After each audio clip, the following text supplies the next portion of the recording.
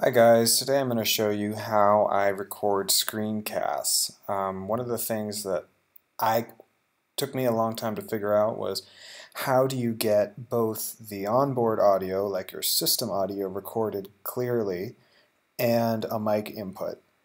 Um, the way that I do that, and now this is Mac only, I don't know, there may be a different way for PC, but I use a program called Soundflower. Now you can download and install Soundflower um, you can find instructions for that on the internet if, uh, if you're not able to figure it out. But once you have it downloaded and open it up, it will uh, make a little flower icon up here. Now, I'm basically just going to show you my settings because if I actually did it in front of you, you wouldn't be able to hear me because I'm using it right now to record screencast. Um, basically, I have Soundflower.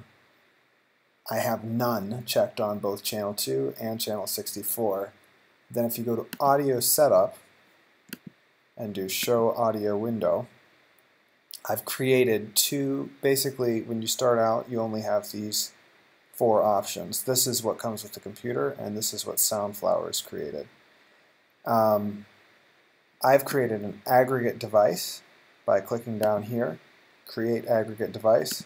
I created one and I've checked built-in microphone and I've checked Soundflower 2. Then I've created a multi-output device, same way, and I've checked built-in output, and I've checked Soundflower 2. Okay?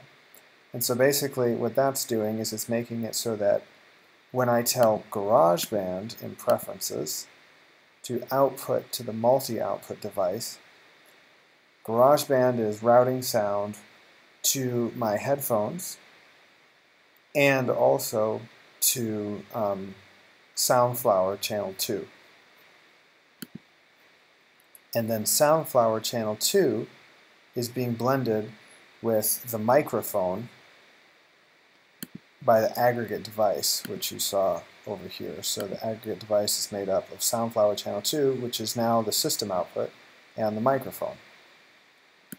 Now, when you, I use QuickTime because it's free and simple to record my screencasts. So when you open up QuickTime Player, when you do new recording, see I have a screen recording going right now, but let's see, if we open new audio recording, you select for your microphone rather than the system microphone, you set, select the aggregate device. Now you can also use this if you don't want to record a microphone, you can just install Soundflower make a multi-output device that will output to Soundflower and then select Soundflower and then you'll only get system audio. That might be useful like if you're doing a, a recording of a game for example but you don't want to narrate it. So that's a simple way to do a screencast using all free software. Um, QuickTime comes on the system and Soundflower you can download for free. Thanks. Hope this was helpful. Let me know if you have any questions um, leave a comment. Thanks.